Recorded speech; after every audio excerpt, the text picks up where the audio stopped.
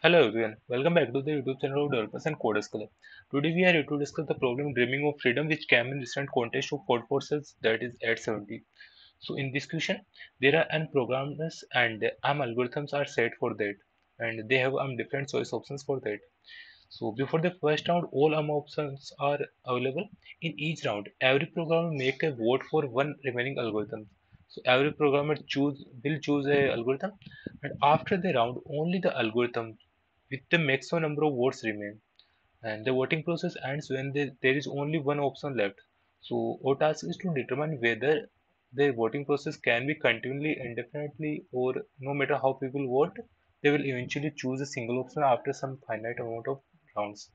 So our target is that if anyhow we can find a possible combination in which the algorithm cannot choose only one algorithm like we want to choose a combination in which the algorithm uh, remaining algorithm will be more than one. So in that case that will make a uh, infinite uh, rounds. So what i need to say that uh, like you can see that here three programs are there and two, algor- two algorithms are there.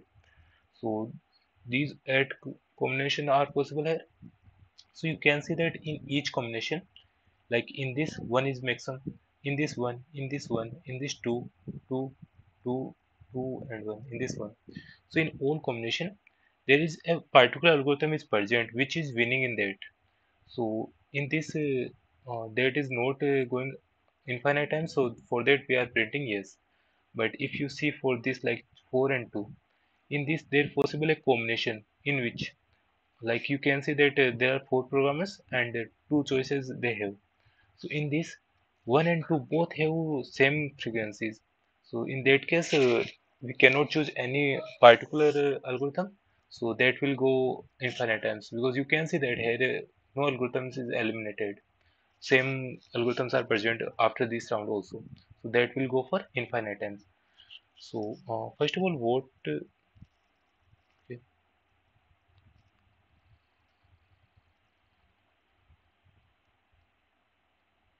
One minute.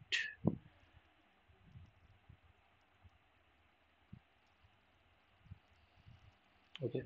So uh, what is our target? That first of all, what I think that uh, if our n is even that means our programs are even then we can choose uh, any two options like uh, like just think that we value of m is 4 what is that that we have four choices one two three four but what we will do we will choose only one and two and as or is even then what we will do that we will make divide it on half side Mm, half will contain 1 and half will contain two. So this is not giving any particular algorithm, so that will make uh, infinite rounds. So in this case, we will print no. So initially, what I thought that if value of one is even and value of um is more than one, then I will print no, and on all other cases I will print yes.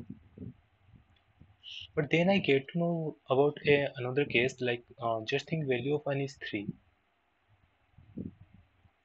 and all choices are also three. So uh, there can be possible combination like 1, 2 and 3.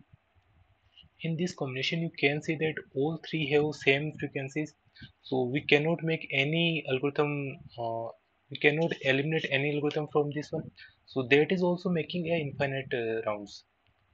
So what we can conclude from here that uh, if anyhow we can take the uh, like 3 is given here.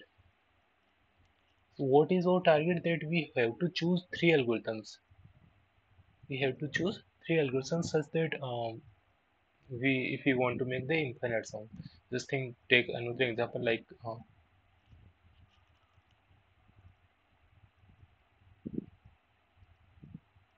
value of n is uh, just take it like uh, 15 in that case you want to divide this 15 in some equally pa- equal part? What is your target that uh, these are total 50 15 persons and you want to put a number such like uh, all number have same frequencies. In that case you will take some x number some x numbers from m. And what is your target that this x should be divisible of uh, uh, x uh, remainder of 15 from x should be 0 in only that case you can make all frequencies equal and in that uh, the round will go for infinite times are you getting this one? That what is your target that we will choose any x such that 15 remainder x will be 0 in that case we can divide 15 such that such like um, all numbers have same frequencies. And for that none of algorithm will eliminate it.